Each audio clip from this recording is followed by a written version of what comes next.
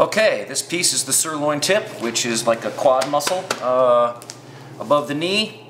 Uh, the way we take this apart, the piece underneath here is very football-like. On top of the piece, when it's given to the employee, uh, this is called the tri-tip. It's for sale as a beef cut in the store. We remove it and turn it into hamburger.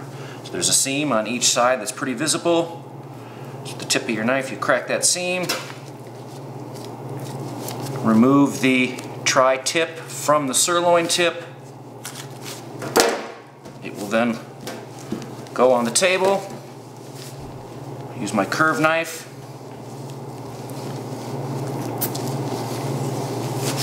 trying to slice off the outside skin, piece of fat.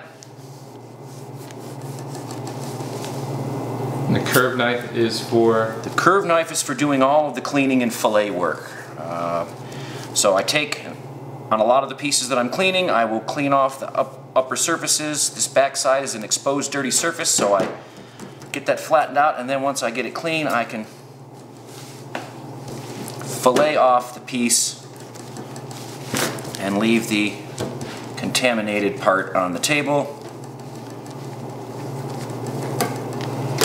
And this dry crusty piece will be discarded along with this fat.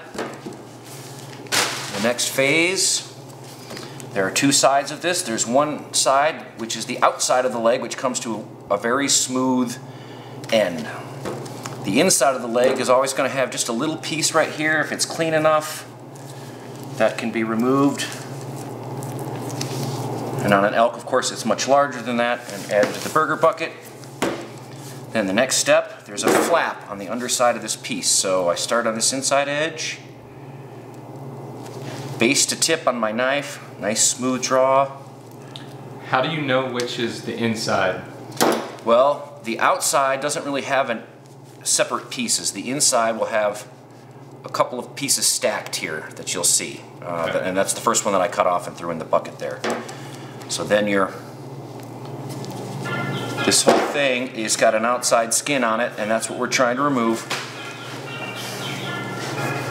So I, I'm going to cut back any of the pieces that you remove and take off.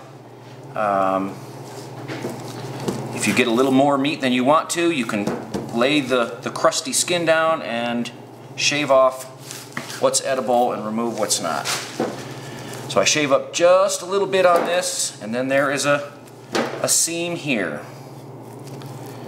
This is what we're going to remove. I run the tip of my blade and separate down this white tendon here.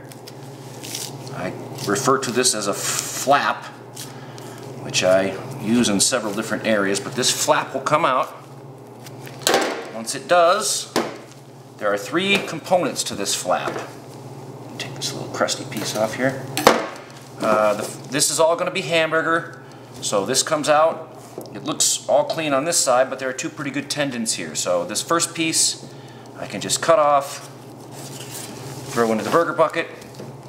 These other two pieces, on a deer like this, I could flip it over and do it all in one move. On an elk, I will typically separate on the seam, flip this over. The tendon then lays flat on the table and you can slide your knife along the tendon and remove the meat and leave the tendon on the table and do the same thing for the other piece. So you're using the tendon that you're trying to remove as the tool to remove it.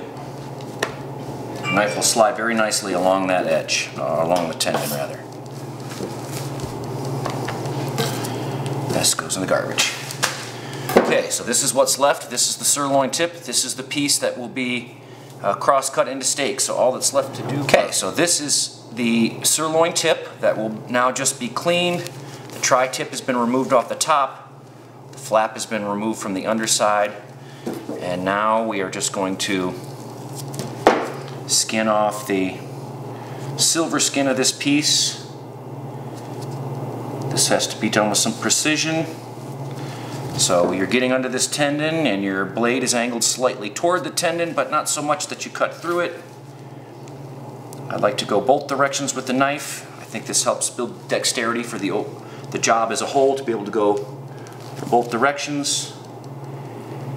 This can be taken off very thinly.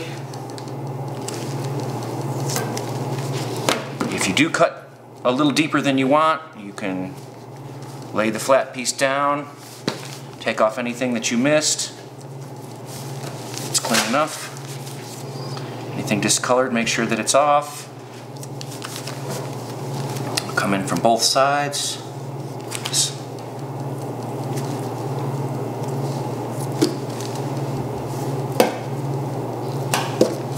Removing the tendons and the silver skin. And anything discolored from aging. And that is pretty much